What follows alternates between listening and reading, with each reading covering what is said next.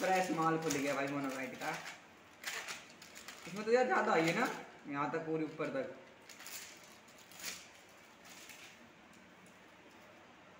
सही है भाई रील भी। मोलोगस मोनोकाइट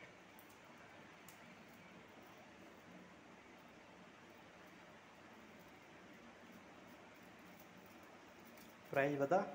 प्राइस प्राइस आपको लगा देंगे छः सौ। छः सौ का लग जाएगा प्राइस एकदम मस्त रील है बिल्कुल।